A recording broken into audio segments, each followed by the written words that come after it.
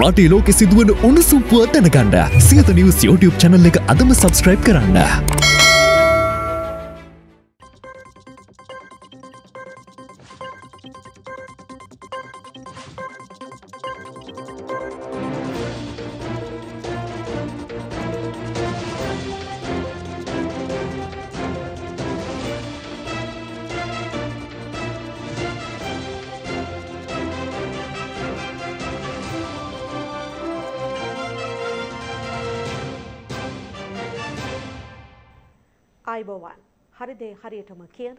සියත මධ්‍යහන ප්‍රවෘත්ති විකාශයයි මේ මම වත්සලා හිටිමුල්ල ප්‍රථමයෙන් පුවත් සිරස්තල.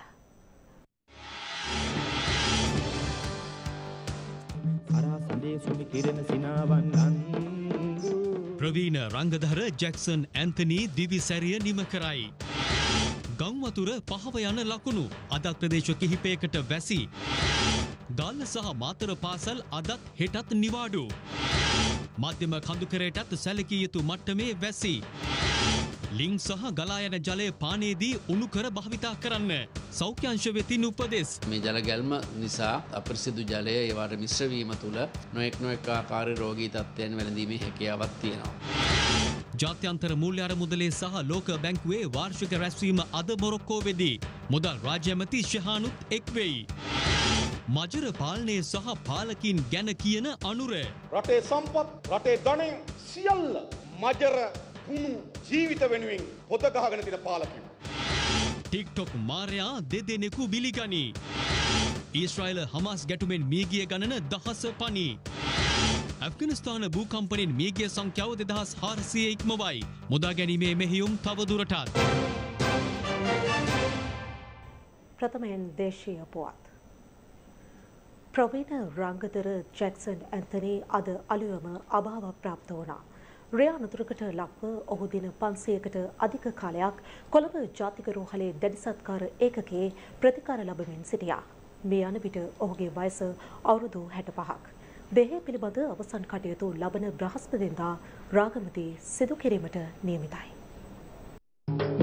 නමු කියලා පටන් අරන් කාටත් යහපතක් වෙන්න. ගොතා කියමි විරිඳු ටිකක් හැම දෙනාට අහන් ඉන්න. හැම දෙනාට අහන් ඉන්න. ඔහු ප්‍රතිභහපූර්ණ රංගන ශිල්පියෙක්. මෙරට සිනමාවේ වේදිකාවේ සහ රූපවාහිනයේ සුවිශේෂී ප්‍රතිභාවන් පෙන් වූ කලාකරුවෙක්. ප්‍රධාන වශයෙන් මාධ්‍ය තුනම අතික්‍රමණය කළ රංගදරයෙකු වන ජැක්සන් නැතනේ රංගනයට අමතරව අධ්‍යක්ෂවරයෙකු නිෂ්පාදකවරයෙකු ගායකයෙකු තිරරචකයෙකු රූපවාහිනී සත්කාරකයෙකු නවකතා රචකයෙකු තේරු රචකයෙකු සහ ගීත රචකයෙකු දවවා ඉතිහාසත්ඥයෙකු සහ සංචාරකයෙකු ලෙසත් පනාපුත්‍ර කුහුඹු පැනියා හෙවත් ජැක්සන් නැන්තනේ හඳුන්වනට පුළුවන්. වර්ෂ එතහස් නවසේ පනස් අටේ ජූලි මස අටවනතා රාගම පොඩිවී කුමර ගම්මානයේදී මේ අසහාය රංගදරයා උපත ලබනවා. හපුගොඩ කනිෂ්ඨ විද්‍යාලය බණ්ඩාරවෙල ශන්ත මරියා විද්‍යාලයෙන් සහ ගලහිටියාව මධ්‍ය මහා විද්‍යාලයෙන් සිප් සතර හැදෑරු ඔහු කොළඹ විශ්වවිද්‍යාලයේ සිංහල භාෂාව පිළිබඳ ගෞරව උපාධිය සහ ශ්‍රී ජවර්ධනපුර විශ්වවිද්‍යාලයේ ජනමාත්‍යය පිළිබඳ ශාස්ත්‍රපති උපාධිය ලබාගත්තා. නෙවිල් ඩයිස් සුබසිංහගේ වාරුවෙන් යන මිනිස්සු මානවයෝ සහ EMD උපාලිගේ මෙතනින් මාරුවෙනු යන නාට්‍ය හරහා ප්‍රසිද්ධ වේදිකාවට පිවිසෙන්නට මේ අසහාය රංගවිදියාට හැකියාව ලැබුණා. වේදිකාවට නැතිවම බැරි චරිතයක් වුණ ජැක්සන් මරාසාත් මදුර ජවනිකා ලෝමහන්ස දවල භීෂණ තාරාවෝ ඉගිලිති වැනි වේදිකා නාට්‍ය රැසකට සිය රංගනදායකත්වය ලබා දුන්නා. අරා සඳේ සොමි කිරණ සිනාවන් ලන්දු මාමන බැන්දු ආලවඩන රුවලන්දු ආරද පැත්තේ සොඳුරු කල්පිල්වල දෙව්ලොව නැති සැප විදුනන්නේ දේගෙන මතුරන් අපයට දෙන්නේ නිබඳ සිතල දැවෙන්නේ වේදිකාවෙන් පුංචි තිරයට පැමිණි ජැක්සන් ටෙලිනාට්‍ය කලාවේ කළ පෙරලියත් අනුපමයයි. ඇල්ල ළඟ වලව්ව වෙදහාමිනේ අකාල සන්ධ්‍යා පිටගම්කාරයෝ ආදී ටෙලිනාට්‍ය රැසකට ජැක්සන් සේ රංගනයෙන් දායක වුණා. මනලු නෑ තමුන් ගහට නැග්ගනන් ඉතින් ගහෙන් බහින හැටි දැනගත්තොත් හොඳ නිකන් මේ අහකින් අපිත් එක්ක පැටලෙන්න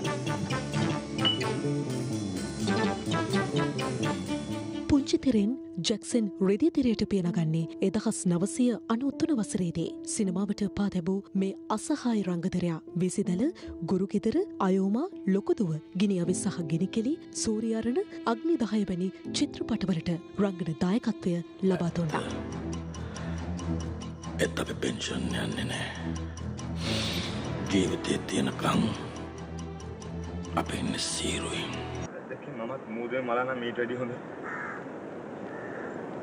ඒතුළ තනියෙන් මල් මේ හැත්ත මාව මරගන කණ්ඩාදනවා මේ අසහාය රංගතරයා හොඳම නළුවට හිමි සම්මානයනුත් දාසය වරක් පෙදුම් ලැබවා. රංගන ශිල්පිනියක වන කුමාර මුණසිංහ සමග අතිනතගත් මේ අසහාය කලාකරවා මාධවී වත්සලා අකිල දනුත්තර සහ සජිත අනුත්තරගේ ආදරණීය පියානන්ද වනවා. ජැක්සන්ගේ කටහඬ ජීවමානව යළි කිසිදා ඇසෙන්නේ නැති බව සත්‍යයක්. එසේම ජැක්සන් යළි කිසිදාක වෙදිකව මත හෝ චිත්‍රපටයක රඟන්නේ නැති බව අප දන්නවා. එහෙත් ජැක්සන්ගේ කටහඬ සහරුව තව බොහෝකල් අප මනස තුළ රැව්පිළි රැව් දෙනු නොඅනුමානයි. දැස පියාගත් කල ජැක්සන්ට මැවුණේ කුමාරිගේ රුවවද අපගේ දැස හමුවේ ඔබේ රුව සහ හඬ අමතක කරන්නට බැරි බව සඳහන් කළ යුතුයි. මතකය මගේ අඳුරුනේ ඒ එදාය මේ මෙදාය මට සිතාගන්න නොවේ ඇස පියාගත් කල මට මැවෙන්නේ ඔබෙරුව ඇත්ත කඳුකරින් එන නලගෙනෙන්නේ ඔබේ හඬ. දැස්ස පියාගත් කල මට මැවෙන්නේ ඔබෙරුව ඇත්ත කඳුකරින් එන නලගෙනෙන්නේ ඔබේ හඬ. කුමාරියේ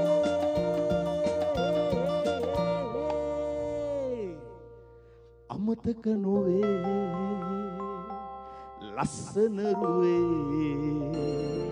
සිත සැනසු අදාලියුම අභාව ප්‍රාප්ත වූ ප්‍රවීණ රංගන ශිල්පී ජැක්සන් ඇන්තනගේ දේහය පිළිබඳ අවසන් කටයුතු ලබන බ්‍රහස්පතින්දා සිදු කිරීමට නියමිතයි. අභාව ප්‍රාප්ත ජැක්සන් ඇන්තනගේ දේහය අද පස්සුරුවේ කඩවත රාගම පාරේ වනික සූරියපත්තේ පිහිටි ඔහුගේ නිවස වෙත රැගෙනීමට නියමිතයි.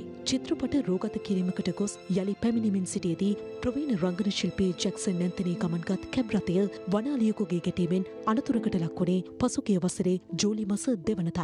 රේ අනතුරකට ලක්ව මාස දා හතරකට වැඩි කාලයක් කොළඹ ජාතික රෝහලේ ප්‍රතිකාර ලබමින් සිටියේදී ප්‍රවීණ රංගන ශිල්පී ජැක්සන් ඇන්තනී මේ යන විට හැට පස්වනවයෙහි පසු වුණා.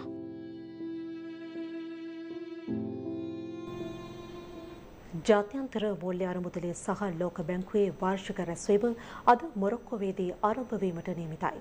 මෙම සමුළුවේදී ශ්‍රී ලංකාවේ දීපාර්ශවයේ ණය ප්‍රතිව්‍යුහගත කිරීම පිළිබඳ ගිවිසුමකටද අත්සන් තැබීමට සූදානම් බවයි වාර්තා වන්නේ.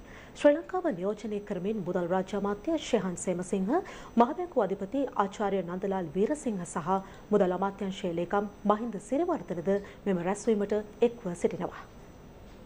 ජාත්‍යන්තර මූල්‍ය අරමුදල සහ ලෝක බැංකුවේ වාර්ෂික රැස්වීම අදින් ඇරඹෙනවා. මොරොක්කෝවේදී අදින් ඇරඹෙන සාකච්ඡා එළමෙන පාලස්වනදා දක්වා පැවැත්වීමට නියමිතයි. ලෝපුරා රටවල් රැසක මුදල් අමාත්‍යවරුන් මහබැංකු අධිපතිවරුන් ඇතුළු නිලධාරීන් රැසක් මෙම රැස්වීමට එක්වීමට නියමිතයි. මොරොක්කෝවේදී පැවැත්වෙන මෙම රැස්වීම රටරටවල් අතර සබඳතා තවදුරටත් තර කරන පාලමක් බඳු බවයි ජාත්‍යන්තර මූල්‍ය අරමුදලේ කළමනා කරන අධ්‍යක්ෂ ක්‍රිස්ටලීනා ජෝජියාවා සඳහන් කළේ. මෙම රැස්වීමට ශ්‍රී ලංකාව නියෝජනය කරමින් මුදල් රාජාමාත්‍ය ශ්‍රීහන් සේමසිංහ මහ බැංකු අධිපති ආචාර්ය නන්දලාල් වීරසිංහ සහ මුදල් අමාත්‍යංශයේ ලේකම් මහින්ද සිරිවර්ධන සහභාගිවීමට නියමිත බවයි මුදල් අමාත්‍යංශය සඳහන් කළේ. ශ්‍රී ලංකාව ආර්ථික ස්ථායිකරණය සිට ආර්ථික වර්ධනයක් දක්වා දෙදහස් විසිහතරේ සිට ගමන් කිරීම හා ලෝකයේ පිළිගත් භාවිතයන් අනුගමනය කරමින් සිදු කළ ප්‍රතිසංස්කරන තුළින් ශක්තිමත් කරගත් ජාත්‍යන්තර විශ්වාසය තවදුරටත් තහවුරු කර ගැනීමට මෙම රැස්වීම් මාලාවෙන් අවස්ථාව උදවන බවයි මුදල් අමාත්‍ය ශ්‍රහන් සේවසිංහ ප්‍රකාශ කළේ. මෙම රැස්වීමේදී ශ්‍රී ලංකාවේ ද්වීපාර්ශය විදේශනය ප්‍රතිවිව ගත කිරීම පිළිබඳව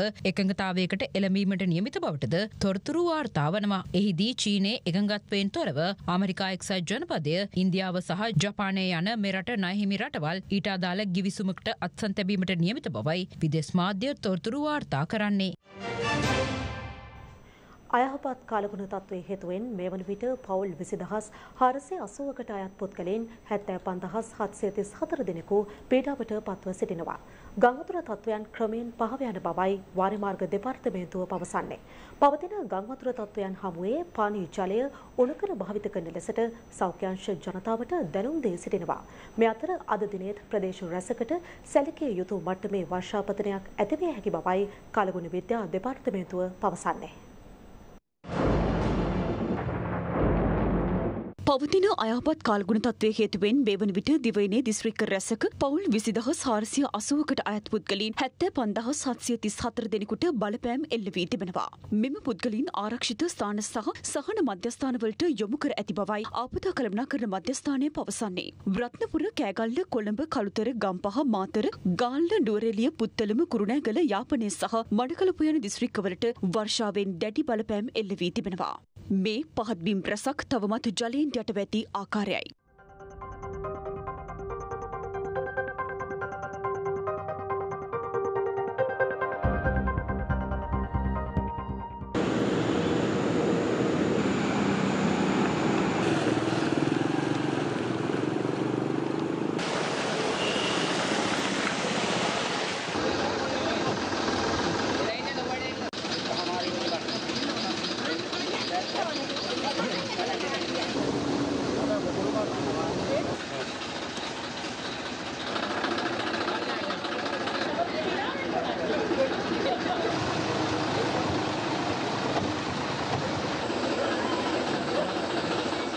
ආකාරයයි. මෙතර මහවැලි ගඟ ඉහළ ද්‍රෝණයේ ඉහළ ධාරා ප්‍රදේශවලට සැලකිය යුතු වර්ෂාපතනයක් ඊයේ රාත්‍රියේ ඇති වූ බව වරිමාර්ග අධ්‍යක්ෂ SPC සුගීශ්වර පවසනවා. දිල්වලා ගඟ ද්‍රෝණයේ පහළ ප්‍රදේශවල විශේෂයෙන්ම මාලිම්බඩ මාතර තිහගොඩ වැනි ප්‍රාදේශීය ලේකම් කොට්ටාශවල ඒ වගේම අකුරැස්ස කඹුරුපිටිය වැනි ප්‍රාදේශීය ලේකම් කොට්ටාශවල පහත් බිම් ප්‍රදේශවල පවතින ගංවතුර තත්ත්වය සැලකිය යුතු බලපෑමකින් යුතුව අද දිනේ පුරාමත් පවතින බව සඳහන් කළ යුතුයි. කෙසේ නමුත් ගංවතුර වතුර ආරක්ෂණ බැමිවලින් උතුරා යාම විට සම්පූර්ණයෙන්ම නවතිනු ඇති බව සඳහන් කරන්න කැමති. මේ බලපෑම ක්‍රමෙන් සමනය වන දිශාවට පත් වෙලා තිබෙනවා. මහවැලි ගඟ ද්‍රෝණී ඉහළ ධාරා ප්‍රදේශවලට ඊයේ රාත්‍රී යම් ප්‍රමාණයක වර්ෂාපතන තත්ත්වයක් ඇතිවුණු නිසා මහවැලි ගඟ ද්‍රෝණියේ ඉහළ ප්‍රදේශවල ජල මට්ටම් තරමක් ඉහළ ගොස් පවතිනවා. ඒ වගේම මහවැලි ජලාශයවලට යම් ප්‍රමාණයක ජල ධාරාවක් ඉදිරියේදී එකතු වෙනු ඇති බව සඳහන් කරන්න කැමතියි. අද දිනේත් දිවයිනේ ඇතැම් ප්‍රදේශවලට සැලකිය යුතු වර්ෂාපතනයක් ඇති විය හැකි බවයි කාලගුණ විද්‍යා දෙපාර්තමේන්තුව පවසන්නේ. ඊයේ සවස් කාලේ සහ රාත්‍රී කාලයේදී දිවයිනේ විවිධ ප්‍රදේශවලින් ගිගුරුම් සහිත වැසි වාර්තා වුණා. විශේෂයෙන්ම අපි ගත්තොත් උතුරු උතුරු මැද සහ මධ්‍යම පළාත් වලින්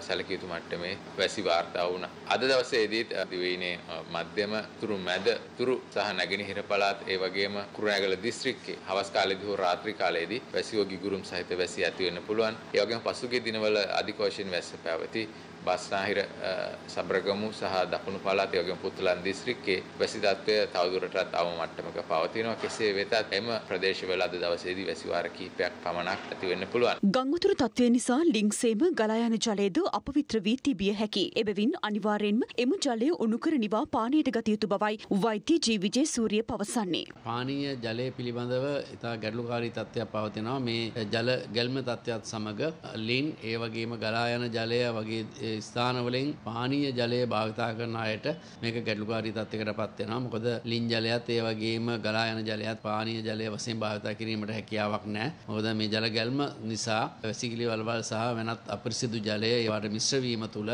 නොඑක් නොඑක් ආකාරයේ රෝගී තත්ත්වයන් වැළඳීමේ හැකියාවක් තියෙනවා. ඒ බීමට ගන්නා ජලය ඇකිතා දුරට ජල ප්‍රවාහන මණ්ඩලය මගින් ලබා දෙන ජලය බීමට පාවිච්චි කරන්න පුළුවන් නම් ඉතාමත්ම වැදගත් වෙනවා. ඒ වගේම එවැනි ජලය ලබා ගැනීමට අපහසුතාවයක් තියෙනවා නම් යන්තා දුරට හෝ පිරිසිදු ජලය උතුරවා නිවාගත් ජලය පානය කිරීම තමයි ඉතාමත්ම වැදගත් වෙන්නේ.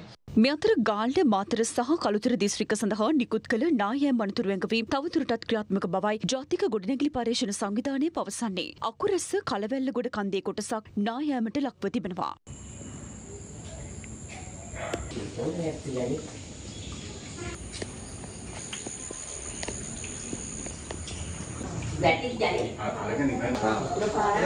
පවතින අයහපත් කාලගුණ තත්ත්වයක් සමග ගාල්ල සහ මාතර දිස්ත්‍රික්කවල සියලුම රජයේ පාසල් අද සහ හෙට වසා දැමීමටයි පියවරගෙන ඇත්තේ. මෙරට පවතින සම්පත් සහ ධනය පාලකයන් සිය පැවැත්ම සඳහා යොදා ගන්නා බව ජාතික ජනබලවේගයේ නායක පාර්ලිමේන්තු මන්ත්‍රී අනුර කුමාර දිසානායක පවසනවා. ඔහු මේ බව ප්‍රකාශ කළේ කොළඹ පැවති සැමරුමකට එක්වෙමිනයි.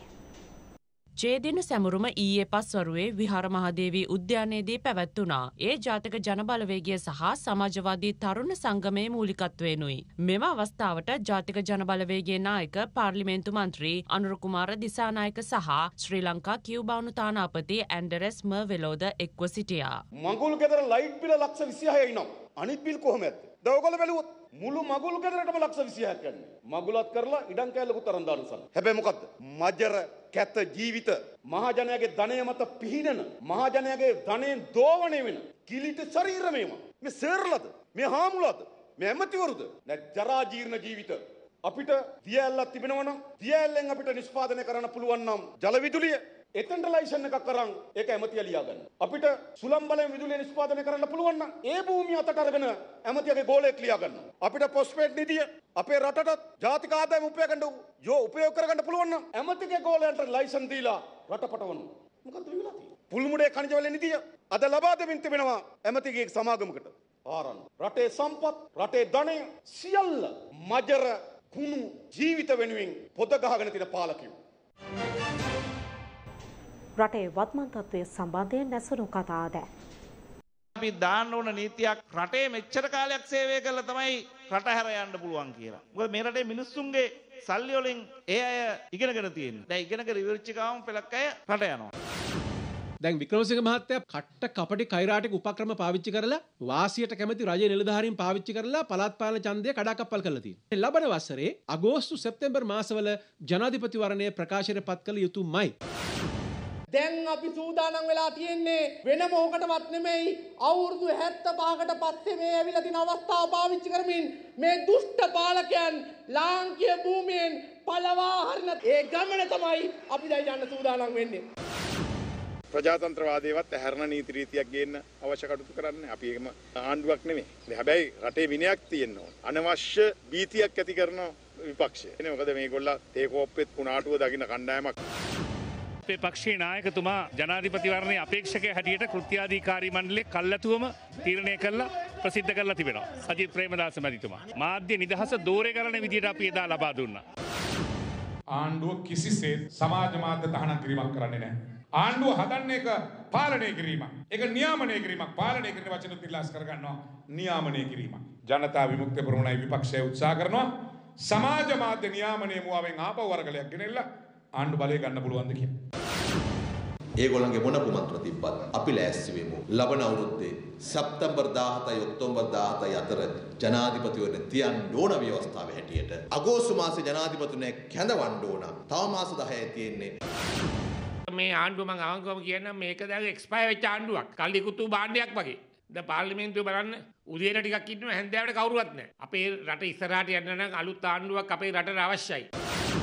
උන් මුන්ට පැරදුනා මුන් මුන්ට පැරදුනා උන් මුන් දෙගොල්ලම අපට පැරදුනේ නෑ දැන් මේ සැරේ රටේ හැඩේ වැටිලා තියෙන්නේ මොකටද උණුයි මුණුයි දෙකම එකට තියලා අපට පරදින්න ලෑස්ති නිමක් නැති අලිමිනිස් ගැටුමේ ප්‍රතිඵල දැන් බරපතල වෙමින් පවතිනවා. ගත වූ පැය කිහිපය තුළ වනාලි පහර දීමකින් පුද්ගලයෙකු මිය ගොස් ඇති අතර වනාලි මරණයක් පිළිබඳව තොරතුරු වාර්තා වනවා. ගලින් බිඳුණු වැව පඩිකාර මඩුව ප්‍රදේශයේදී වනාලි පහරතීමකින් පුද්ගලයෙකු මිය ගොස් තිබෙනවා.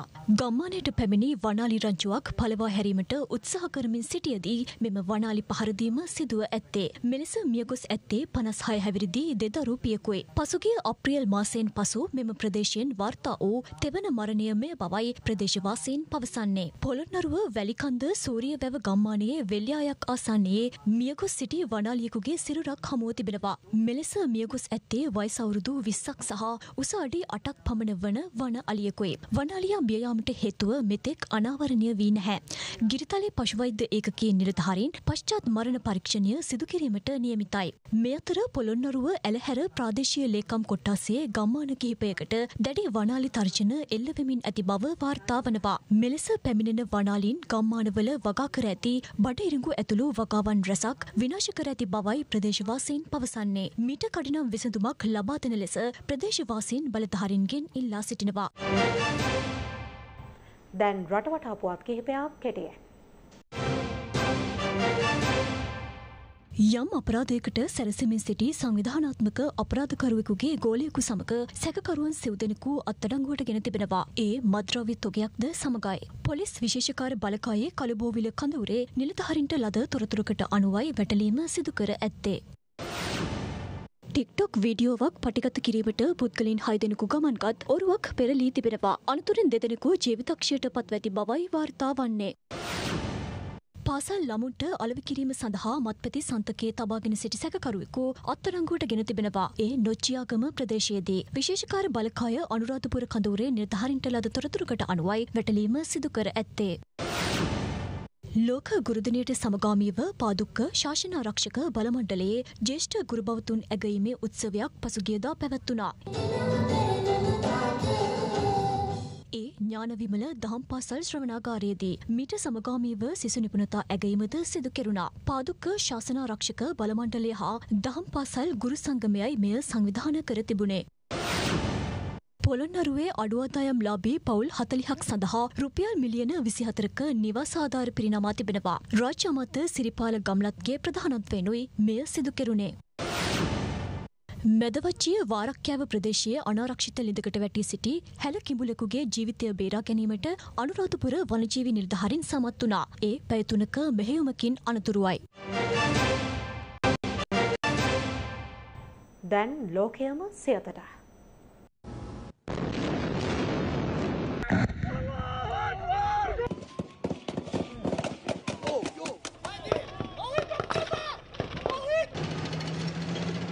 ඊශ්‍රායලයේ සහ ගාසාතීරයේ ගැටුම්වලින් දෙපාර්ශවීම පුද්ගලයෙන් එක්දස් එකසේකට වැඩි සංඛ්‍යාවක් මිය ගොස් තිබෙනවා.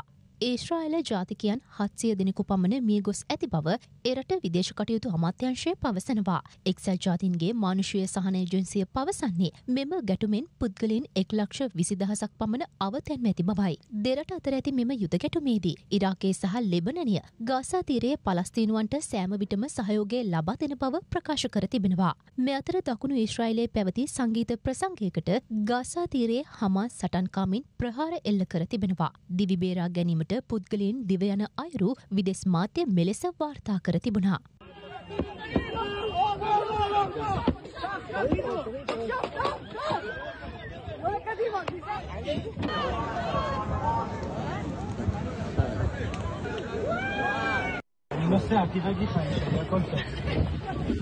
එම ස්ථානයේ තිබී පුද්ගල මලසිරුරු දෙසිය හැටකට වැඩි සංඛ්‍යාවක් සොයාගෙන තිබෙනවා. තවද එම ස්ථානයේ සිටි පුද්ගලයින් හම සටන්කමින් ප්‍රාණ ඇපයට ගත් බවද වාර්තා වනවා. විදෙස් මාත්‍ය වාර්තා කරන්නේ ඊශ්‍රයිලය සහ ගාසාතීරයේ ගැටුම් මෙවන විට උග්‍රාතට හැරී ඇති බවයි. මෙහේතුවෙන් චීනය ඊශ්‍රයිලයේ ටෙලවිව් වෙත ගුවන් ගමන් තාවකාලිකව නතර කර තිබෙනවා. හමාස් ප්‍රහාරවලින් අමරිකානු ජාතිකයෙන් කිහිප දෙනෙකු මිය ගොස් ඇති බව වාර්තාවනවා. එහෙත් එය නිලවශයෙන් තහවුරු කර නැති බවයි වාර්තාවන්නේ. ඊශ්‍රයිල මුහුදු සීමාව ආරක්ෂා කිරීම සඳහා අමරිකානු යුද නෞකා යොදවන බව ජෝ බයිඩන් පවසා තිබෙනවා. ඇෆ්ගනිස්ථානයට බලපෑ ප්‍රබල භූකම්පනයෙන් මියගේ සංඛ්‍යාව දෙදහස් හාරසිය ඉක්මවා තිබෙනවා. සුන්බුන් අතර සිරවුවන් සොයා මුදා ගැනීමේ මෙහියුම් තවදුරටත් ක්‍රියාත්මක බවයි එරට බලධහරින් පවසන්නේ. රික්ෂ පරිමාණ ඒකක හයයි දශම තුනක ප්‍රබලත්වයකින් යුත් මෙම භූකම්පනයෙන් වැඩිම බලපෑමක් එල්ල වුණේ හිරාත් නගරයටයි. ගම්මන් හයක් මුළුමනින්ම විනාශ වී ඇති බවයි වාර්තා වන්නේ. මෙම භූකම්පනයෙන් දෙදහසකට වැඩි පිරිසක් තුවල ලබා ඇති බව එරට අපදා අමාත්‍යංශය නිවේදනය කළා. නමුත් ඊයේ ආපදා කළමනා කරන අමාත්‍යංශය ප්‍රකාශ කළේ පුද්ගලයෙන් නවදහසක් තුවල ලබ ඇති බවයි. දැන් සියත පිටිය. ලෝක කුසලාන එක්දින ක්‍රිකට් තරගාවලියේ තමන් මුහුණ දුන් පළමු තරගෙන් කඩලු හයක ජයක් ලබා ගැනීමට සත්කාරක ඉන්දියාව ඊයේ සමත් වුණා. ඒ ප්‍රබල ඕස්ට්‍රේලියාව පරාජයට පත් කරමින් ශ්‍රී ලංකාව හෙට පාකිස්තානය සමග තරඟ වැදීමට නියමිතයි.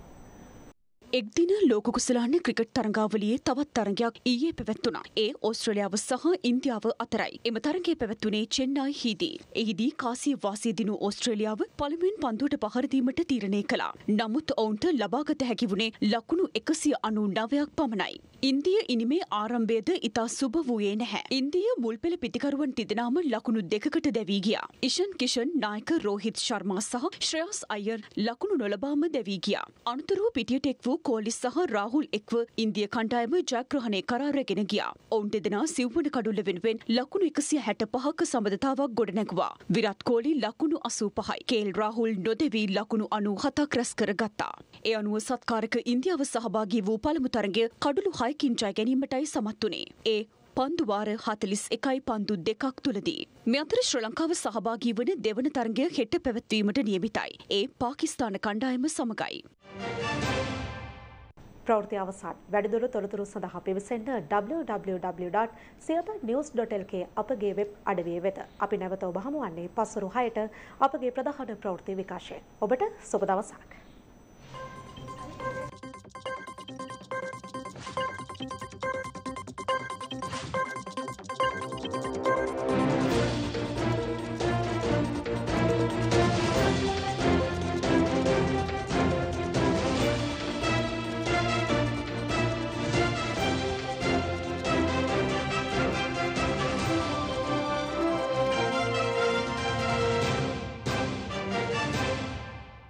රටේ ලෝකෙ සිදුවන උණුසුම්පුව දැනගන්න සියත නිවස් YouTube චැනල් එක අදම සබස්ක්‍රයිබ් කරන්න.